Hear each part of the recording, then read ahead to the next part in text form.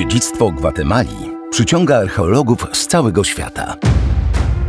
To tutaj dokonywane są spektakularne odkrycia z ery prekolumbijskiej, od drogocennych kamieni po bezcenne z punktu widzenia nauki artefakty należące do starożytnej, wysoko rozwiniętej cywilizacji. Grupa polskich naukowców na czele z Jarosławem Źrałką z Uniwersytetu Jagiellońskiego z powodzeniem prowadzi na tym terenie badania od 2006 roku. Niestety warunki prac wykopaliskowych są bardzo utrudnione. Słaby stan dróg, a miejscami całkowity ich brak, tropikalny klimat, gęsta dżungla oraz chmary komarów roznoszących niebezpieczne choroby. Ale najbardziej zawziętych badaczy nie odstraszają nawet bandy rabusiów i złodziei czyhających na wykopane skarby. Nie wspominając już o starożytnych klątwach Majów.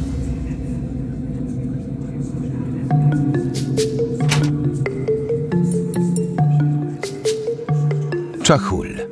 Północna część departamentu El Quiche w Gwatemali.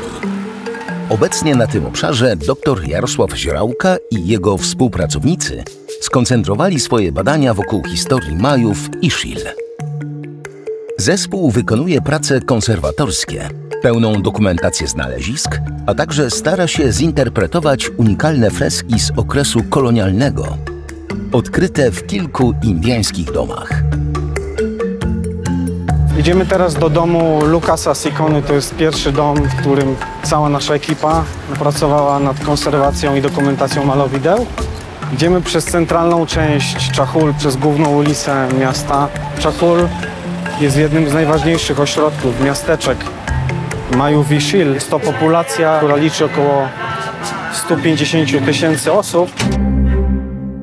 Obecnie rdzenni Majowie zamieszkują obszary południowo-wschodniej części Meksyku, Gwatemali, Belize i zachodniego Hondurasu. Całą populację Majów szacuje się na około 8 milionów osób, z których większość, bo około 6 milionów, mieszka w Gwatemali.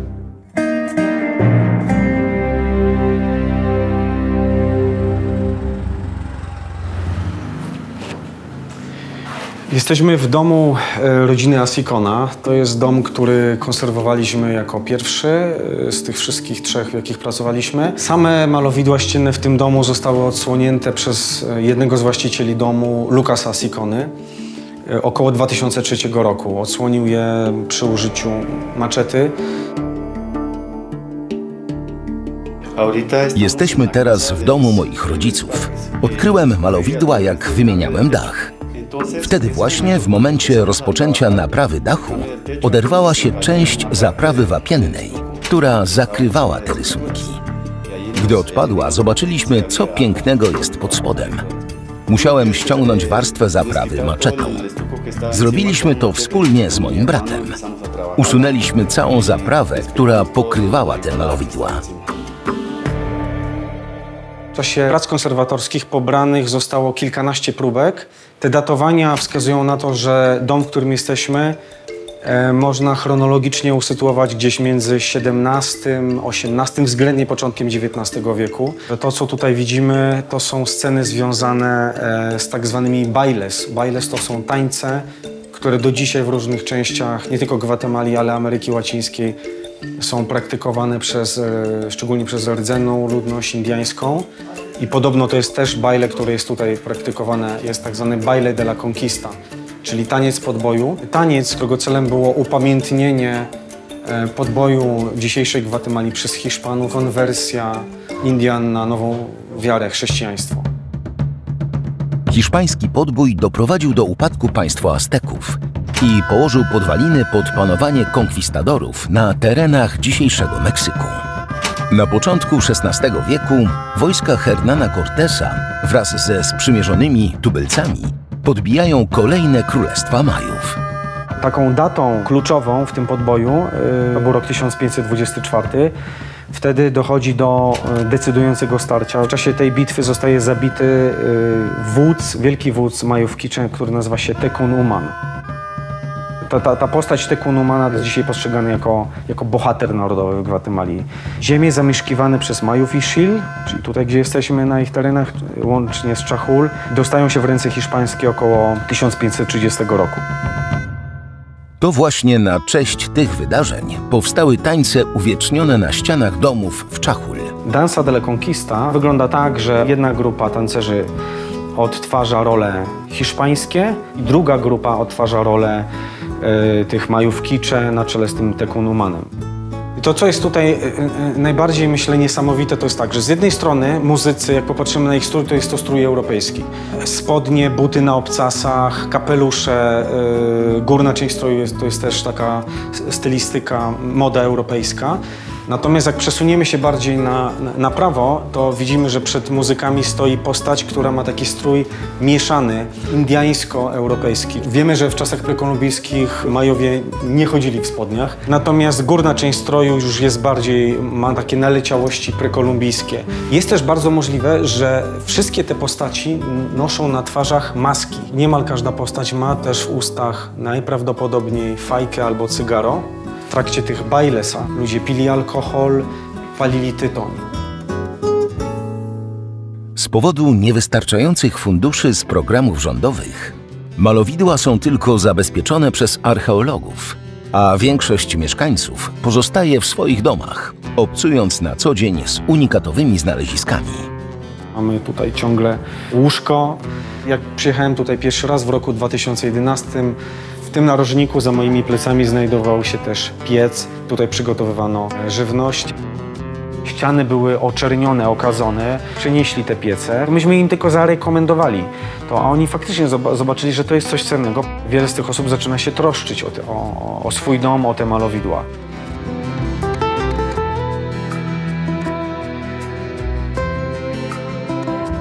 Malowidła w domu Lukasa Sikony są tylko jednymi z kilku w tym rejonie. Obecnie polscy naukowcy są w trakcie renowacji fresków w domu Gaspara Ramireza. Nasza rola tutaj jest to, aby to, co jeszcze się zachowało, żeby zatrzymać dla, dla innych pokoleń tak naprawdę, bo to są ostatnie, może tutaj z tego, co widzieliśmy, trzy domy, gdzie gdzie te malowidła się zachowały. Był problem taki, że całe te malowidło było w złym stanie. I to czasami w taki sposób, że wystarczyło palcem dotknąć, to się wszystko tak naprawdę sypało. Dlatego też są i zaszczyki tutaj, które trzeba było wykonać. Te prace, które w sumie trwają za mną, to jest tak naprawdę doczyszczanie tych malowideł, czy usuwanie tych wtórnych nawarstwień. Malowidła wykonano na E, bardzo grubych pobiałach. I ten mur też jest dosyć specyficzny, mianowicie jest wykonany z suszonych cegieł łączonych ziemią. Takich mm, konstrukcji budowlanych w Polsce e, no, nie posiadamy. W naszej tradycji budowlanej stosuje się inne materiały budowlane, stąd to jest ciekawostka dla nas. Oprócz tego malowidła te zachowały się w trzech warstwach, to znaczy konserwujemy tą najnowszą warstwę, najpóźniejszą, ale pod nimi dwie wcześniejsze, które czekają na ewentualnie jakby dalszy los.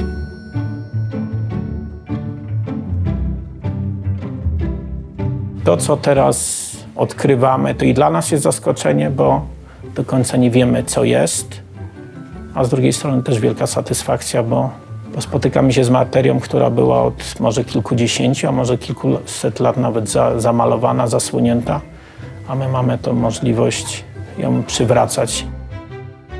A całe te ściany, dekoracja ścian miała, myślę, że miała też jakiś aspekt trochę większy, duchowy. E, raz, że po bokach mamy przedstawione kwiaty, w, centralnej części jest ołtarz, a po bokach były sceny pokazujące w sumie tańce i różne postacie w maskach, wszystko związane z, z Cofradias.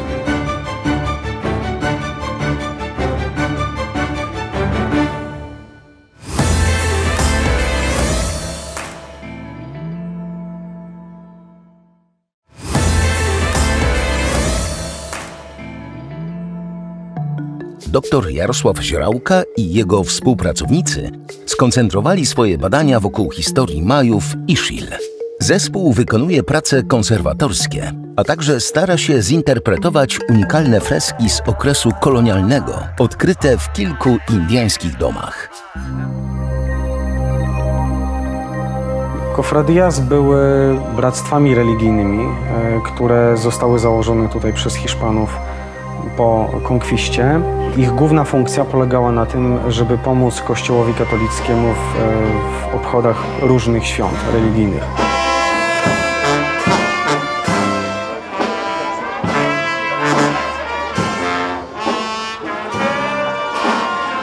Członkowie Cofradias zajmowali się, opiekowali się figurami świętych Kościoła katolickiego, Chrystusa bądź też Matki Bożej.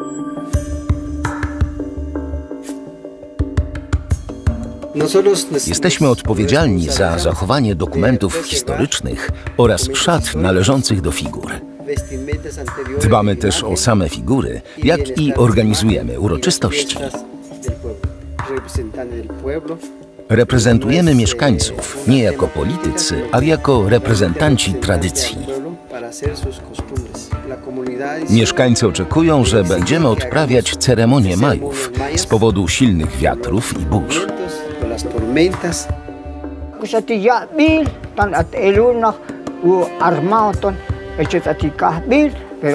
Tiempo ya. Mówi, że członkowie Cofradias mają księgi, dzięki którym możemy prosić o wodę lub słońce. Jeżeli są plagi lub choroby, to nie narzekamy, ale odprawiamy rytuały, tak aby wszystko wróciło do normy.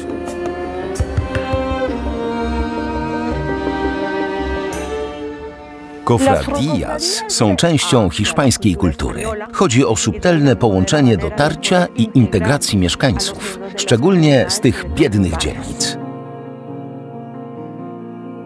W naszym mieście było kiedyś 10 grup Cofradías. Teraz zostało już tylko 7. Jednym z powodów jest zła sytuacja ekonomiczna członków Cofradías. Mamy do czynienia z kryzysem Cofradias. Czasami my tu spotykamy się z członkami Cofradias i oni mówią nam tak, że czy my możemy ich wesprzeć jakoś finansowo, żeby oni mogli dalej kultywować te swoje tradycje, odprawiać jakieś rytuały, bo nie mają już w ogóle na to środków. Kiedyś te środki były, bo, bo było wielu członków Cofradia, albo było wielu sympatyków, osób, które przychodziło na te spotkania Cofradias, wykładało też środki finansowe.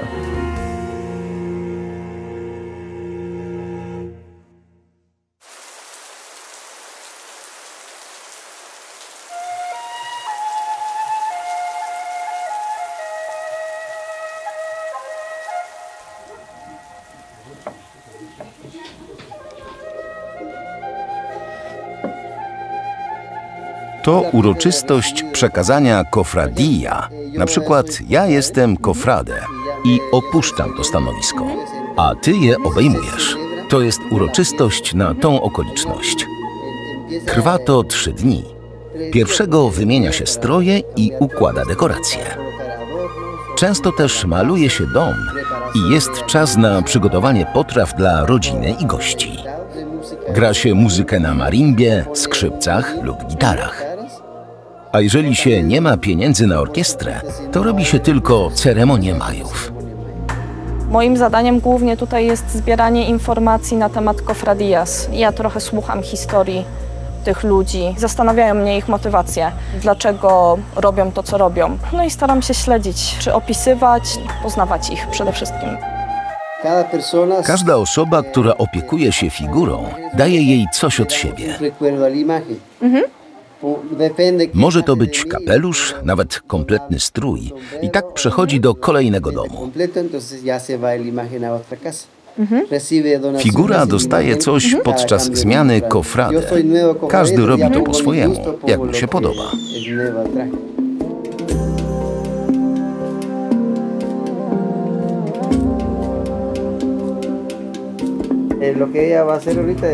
Teraz odbędzie się ceremonia, w której ta kobieta poprosi Boga o zdrowie. Bóg wie, że jej na tym bardzo zależy.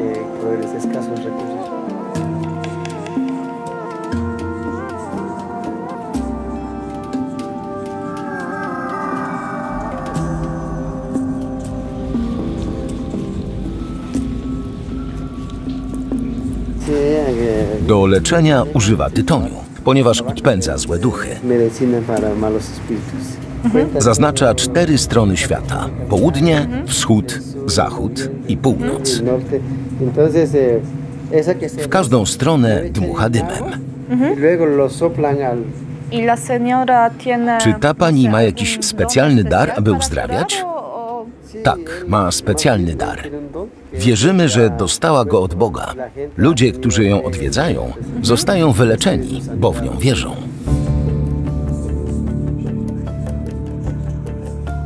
Ta pani leczy takie choroby, tak zwane choroby kulturowe, jak susto, czyli u nas w Polsce będzie to przestrach, jak e, mal de ojo, czyli em, działanie złego oka. No, u nas w Polsce to też jest spotykane i generalnie leczy w działalność złych duchów, e, które powodują chorobę.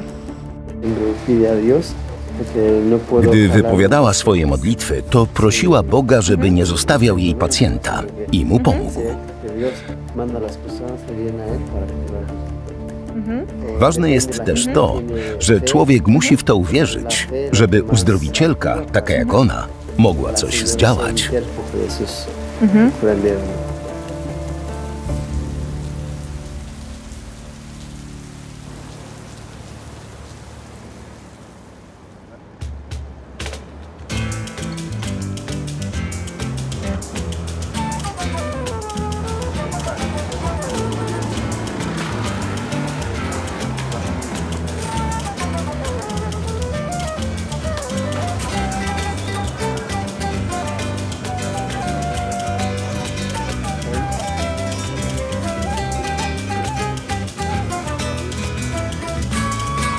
Idziemy teraz przez targowisko w Czachul, które jest praktycznie czynne codziennie. Natomiast dzień targowy, czy dwa dni targowe w tygodniu, takie najważniejsze, kiedy i ten teren się zagęszcza, przyjeżdża więcej ludzi sprzedawać swoje produkty.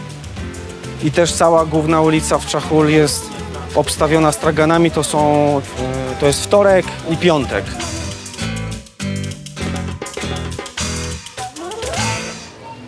Senior, e, ¿cuánto Przepraszam, ile kosztuje liczy? 25 kecali. Poproszę 10, por 10. Herbaty? Do herbaty? favor. Weź to. 10 kecali i jeden?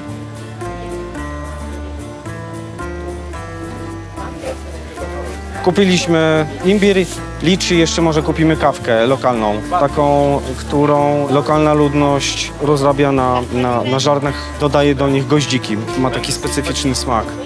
Dziękuję.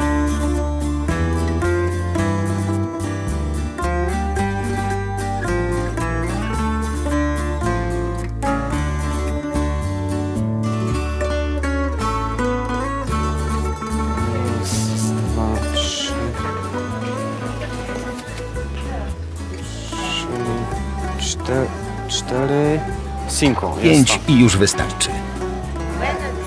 A to mięta? Ile kosztuje? Jednego también. Dobrze, to poproszę jeden pęczek.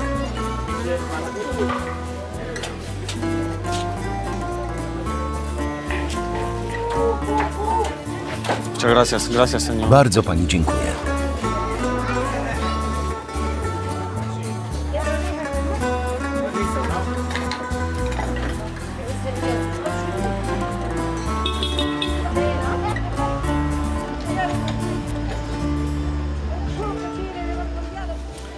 Jesteśmy jeszcze na końcu targowiska w Czachul.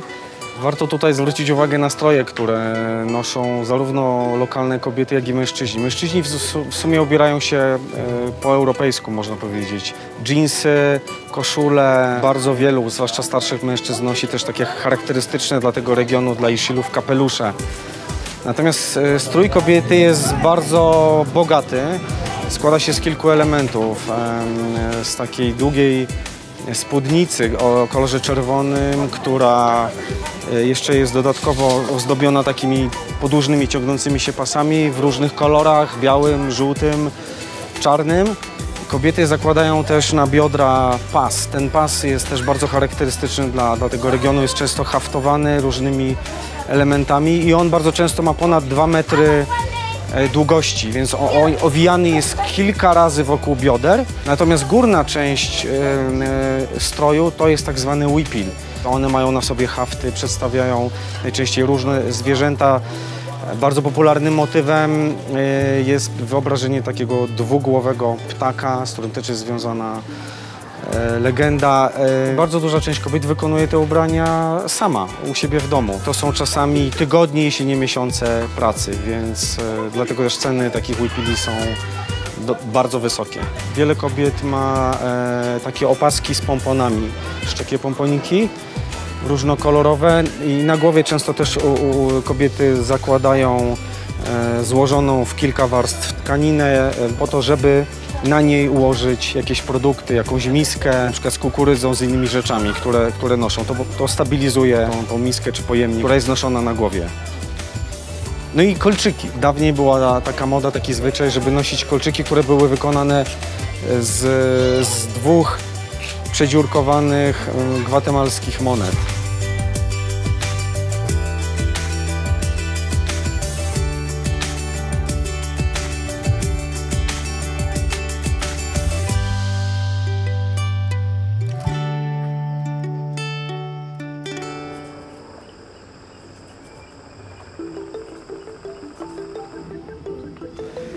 Jesteśmy w miejscu, które nazywa się Posada Weckaol. E, To tutaj mm, cała nasza ekipa mieszka na czas prowadzenia badań w Czachul.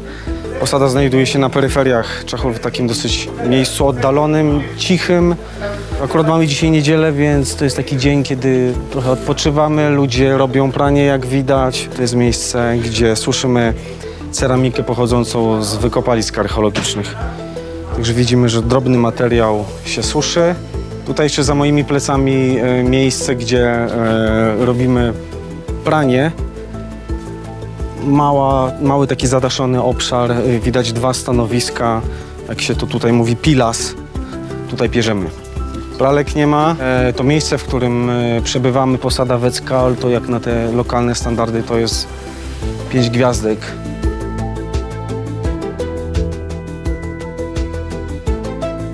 Tutaj mamy po lewej stronie salon. Tu jemy, tutaj też pracujemy. Widać zresztą ludzi w czasie pracy. Zych, Igor, Sarmientos właśnie oglądają e, efekty skanowania 3D kilku domów, w których pracowaliśmy. Co tam robicie? Mogą być Afrykańczycy. Spójrzcie na to. Afrykańczycy? On tak twierdzi. Wszyscy uważają, że banjo pochodzi wyłącznie z terenów Stanów Zjednoczonych. Otóż nie tylko. To może pochodzić z Afryki. Dyskutują na temat e, przedstawień kilku muzyków, którzy wymalowani są w domu Marcosa Zunigi. To jest, tam pojawia się bardzo ciekawa scena, w której uczestniczą nie tylko e, bębniarz i, i flecista, ale też jest dwóch, dw- dwóch muzyków, którzy grają na gitarach i tutaj właśnie rozprawiają, co to są za instrumenty muzyczne, co to dokładnie są za, za, za gitary. Popatrzcie, on nie jest okrągły. Nie ma szans, żeby istniał chociaż jeden taki one instrument w Gwatemali. To, co chcę powiedzieć, to to, że ci muzycy są z zewnątrz. Article Czytałem artykuł o tym, że zapraszano muzyków z Totonik Pan do Czachul, by brali udział w najważniejszych świętach. Ludzie tutaj nie mieli kostiumów, dlatego zapraszali ludzi z zewnątrz. W takim kontekście twoja teoria brzmi wiarygodnie. Z jakiegoś powodu ktoś tak namalował tych ludzi. Ktoś ich tak namalował.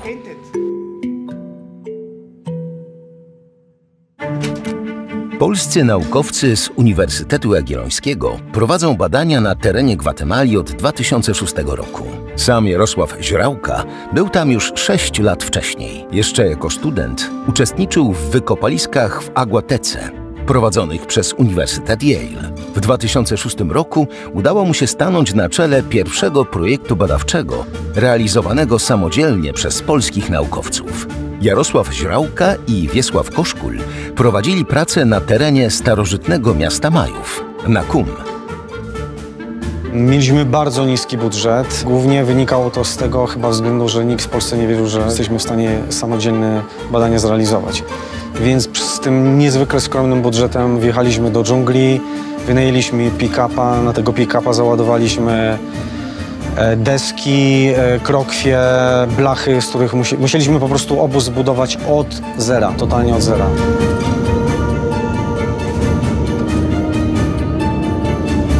Pamiętam ten dzień, jak przyjechaliśmy do dżungli, pokazano nam kawałek, tutaj sobie zbudujcie obóz. E, I reakcje tych osób, które pracowały w dżungli, Nakum leży na terenie Parku Narodowego, siedli, wsadzili ręce, głowę w ręce i tak, to się nie może udać.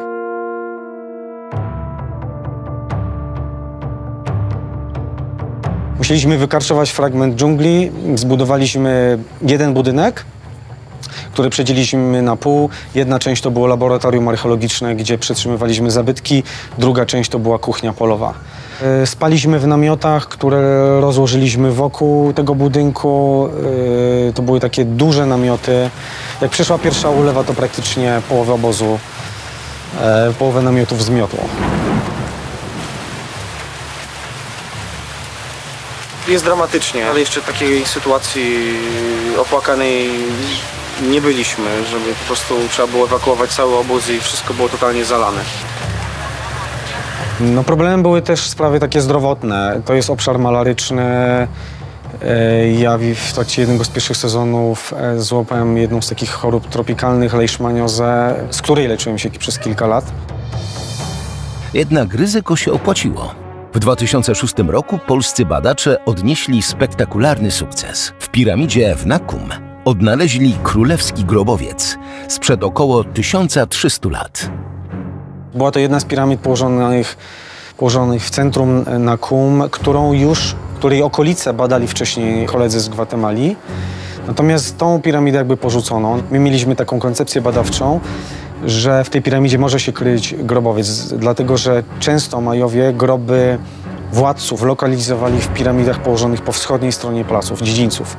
To było związane z wierzeniami, że władca po śmierci miał przeistoczyć się w słońce i zmartwychwstać niejako po wschodniej stronie e, nieboskłonu jako to wschodzące słońce. Pamiętam ten moment odkrycia, to myśmy dotarli do grobowca w środku nocy. To byliśmy wszyscy, nas tam, ta, ta polska ekipa liczyła pięć osób, byliśmy tak podekscytowani. Północy siedzieliśmy jeszcze, eksplorowaliśmy ten grób, a potem zdecydowaliśmy się rozbić namiot na szczycie piramidy i spaliśmy w tym namiocie dwójkami przez kilka kolejnych nocy. Nie mogliśmy po prostu tego miejsca tak opuścić, dlatego że mieliśmy podejrzenie, że wśród naszych ludzi, wśród osób, które zatrudniamy z Gwatemali mogą znajdować się osoby, które wcześniej trudniły się działalnością rabunkową. Okazało się, e, że piramida ma wkop rabunkowy, ale rabusie mm, nie doszli do... W dobrym miejscu otwarli wykop, ale nie dotarli tym wykopem do komory grobowej. Natomiast komora była ogromnych rozmiarów. Jedna z największych komór grobowych Majów nie była wyrabowana. W środku była cała masa biżuterii wykonanej z jadeitu. E, jadeit jest czasami nazywany przez nas złotem Majów. Najcenniejsza rzecz znajdowała się na piersi zmarłego. To był jadeitowy pektorał, który był kilkaset lat starszy niż sam grobowiec. Był najprawdopodobniej przechowywany jako pamiątka rodowa i w tym ważnym momencie, w momencie śmierci e, kogoś ważnego, my uważamy, że osoba pochowana w tym grobie to był jeden z władców Nakum.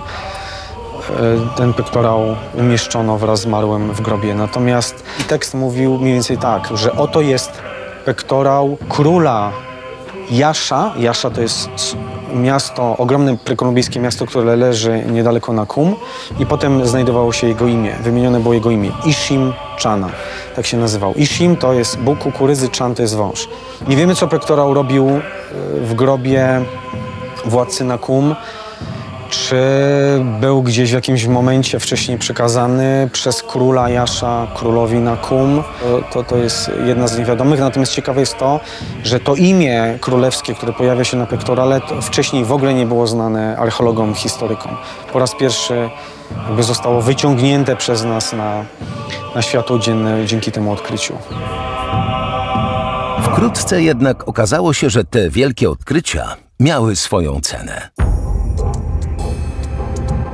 Po otwarciu grobu zaczęły się dziać też poza tym e, wielkim entuzjazmem, no pojawiły się też pewne problemy, przez które zaczęliśmy e, no, mieć takie podejrzenia, że, że wręcz mamy do czynienia z czymś, co można było nazwać klątwą.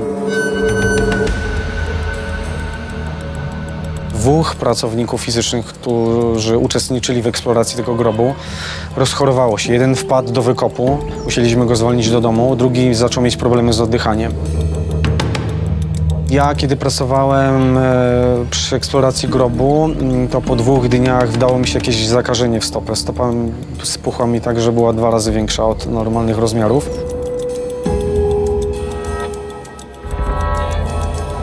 I to bardzo dziwnie wyglądało, bo jeden z, e, jedna z osób, em, którą zatrudnialiśmy w Nakum powiedziała, że to jest nasza wina, że nie odprawiliśmy specjalnego rytuału. Zabraliśmy coś tym przodkom Majów, wykopaliśmy, zabraliśmy ich dziedzictwo kulturowe, więc powinniśmy byli odprawić jakiś rytuał, żeby ich udobruchać niejako. Myślę, że z czasem przyszły mi takie refleksje, kto nam dał to prawo, żeby eksplorować te groby, żeby wyciągać szczątki ludzi, których ktoś kiedyś z namaszczeniem pochował.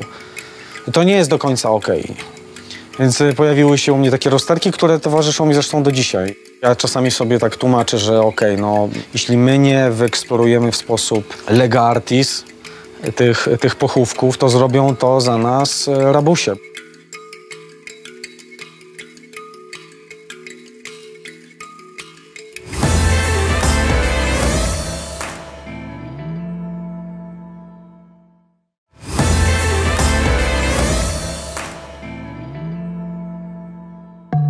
Dr Jarosław Zierałka i jego współpracownicy skoncentrowali swoje badania wokół historii Majów i Szil. Zespół wykonuje prace konserwatorskie, a także stara się zinterpretować unikalne freski z okresu kolonialnego, odkryte w kilku indyjskich domach.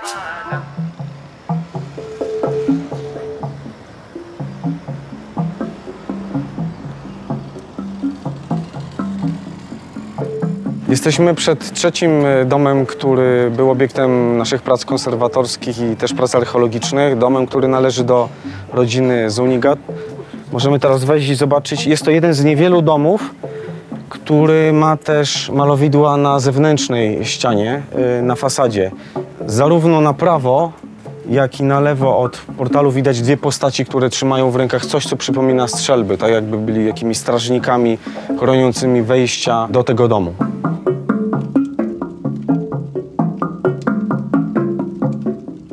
Cały czas ludzie tutaj mieszkają w tym domu. Dom był konserwowany w roku 2019. Wtedy wymieniliśmy cały dach w tym domu, ponieważ był tak zniszczony, że woda e, wpływała do środka, niszczyła ściany z warstwami malarskimi, więc wszystko zostało wymienione. Mieszkam tutaj od siódmego miesiąca życia. Ten dom ma 125 lat. Kiedyś należał do mojego dziadka. Dom nie był w tak dobrym stanie jak teraz. Ściany były krzywe i okopcone. Pod dachem były spróchniałe deski.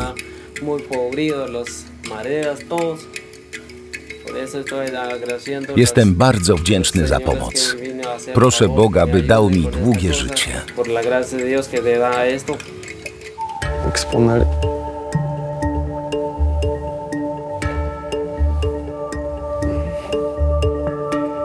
Tutaj mamy jedną z najciekawszych scen e, w całym domu. Widać cztery osoby, które siedzą na taboretach.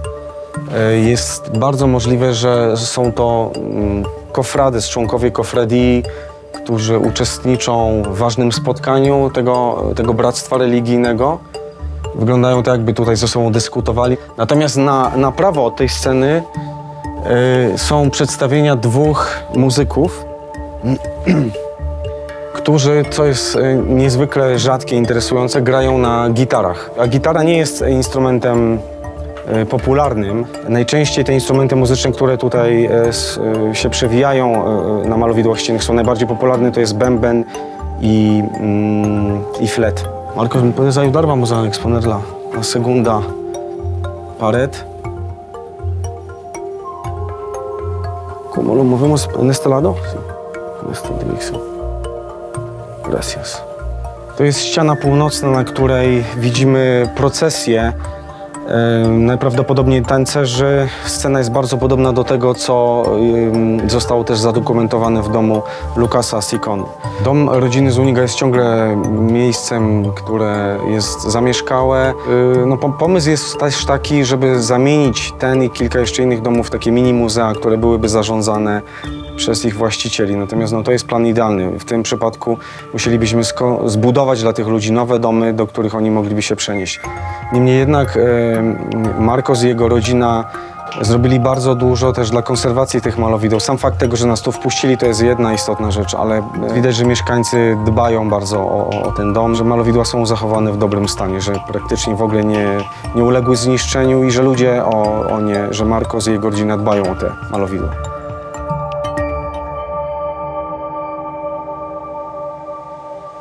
Dla nich to nie jest oczywiste, że ktoś przyjedzie i z drugiego krańca świata i będzie coś robił z malowidłami. Więc tutaj y, pierwsza to jest jakiś taki y, y, niechęć albo lęk, co będzie i tak naprawdę co oni tutaj chcą.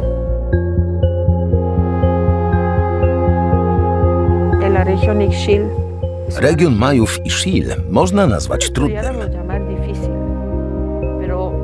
W latach 80., podczas wojny domowej, ludzie z tych ziem ucierpieli najbardziej. To zrozumiałe, że są nieufni do wszystkich z zewnątrz. Ta historia nadal pozostaje w ich głowach. Y Można wyczuć ich niepewność, pomimo tego, że zbliżają się i uśmiechają. Staramy się zdobyć ich zaufanie. Chcemy, żeby na nowo uwierzyli w innych ludzi, by stworzyli z naukowcami zespół i ich wspierali. Naszym zadaniem jest odzyskać pamięć historyczną, nadać jej wartość, tak by wszyscy byli dumni ze swoich korzeni.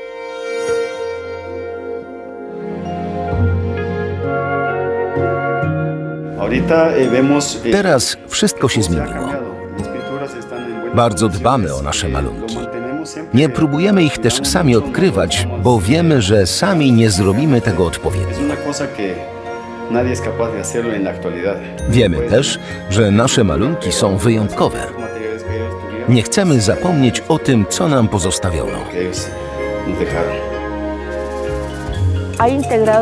Polski zespół to eksperci na najwyższym poziomie.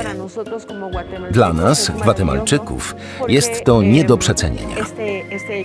Uniwersytet Jagielloński wysłał nam ekspertów posiadających wiedzę z zakresu renowacji i ochrony dzieł sztuki. Dla Gwatemali jest to coś wyjątkowego. Mieć tutaj osoby z taką wiedzą, które mogą pomóc w renowacji i ochronie fresków z Czachul. y.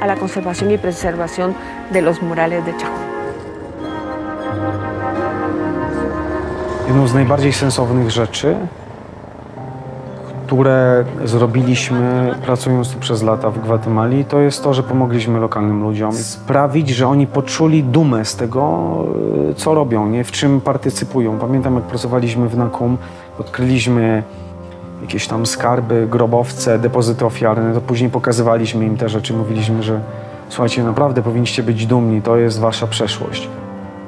Niesamowite jest to, że ile się można tych ludzi nauczyć. Rozmawiasz z tymi ludźmi i oni pytasz się, co tam słychać? ¿Qué tal? ¿Cómo te va? Jak, jak idzie, nie? To oni nigdy nie mówią, że no, jest ciężko, tylko powiedzą ci, że bardzo dobrze, dobrze, fajnie, do przodu, jakoś do przodu idziemy.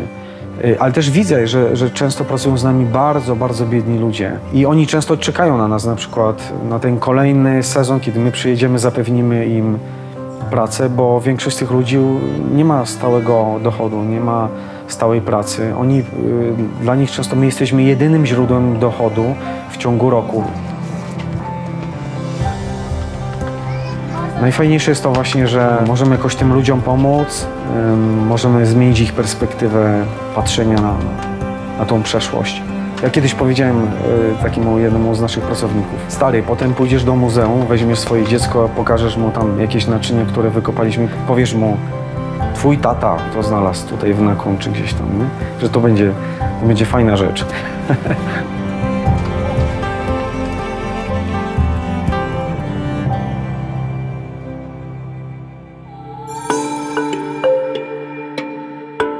Podczas wieloletnich prac w Gwatemali polski zespół odnosił wiele sukcesów.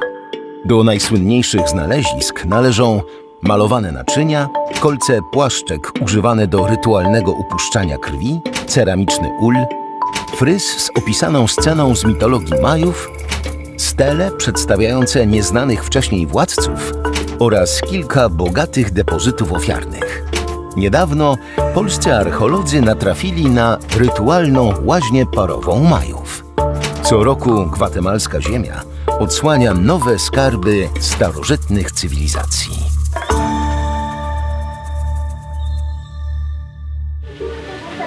Wydarzyła się dosyć niesamowita rzecz. Otóż dzień po wyjeździe ekipy filmowej Luka Zasikona powiedział nam o istnieniu jeszcze jednego domu, w którym znajdują się malowidła ścienne. To okazuje się, że w głównym pomieszczeniu dwie ściany są pokryte malowidłami, które są w bardzo dobrym stanie. Za moimi plecami na tym niewielkim wzgórzu, e, które może być reliktem prekolumbijskiej budowli, znajdował się niegdyś dom, który miał malowidła ścienne. Niestety został zniszczony. Na jego miejsce zbudowano nowe domostwo e, wykonane z desek. E, Jego mieszkańcy znaleźli kilka naczyń ceramicznych z czasów prekolumbijskich. Tutaj wyraźnie widać, gdzie otwarliśmy wykop. Widać dużo utarg e, z ostatnich kilku godzin. To jest jeszcze materiał, który trzeba... O, z ostatniej godziny nawet. Materiał, który jeszcze trzeba będzie umyć. Są w tym e, jakieś fragmenty malowanej ceramiki. Natomiast tuż obok zostało odkryte to piękne polichromowane naczynie, mm, datowane na lata 600-800 naszej ery. E, Obok niego jeszcze kilka innych naczyń, które były częścią tego pochówku.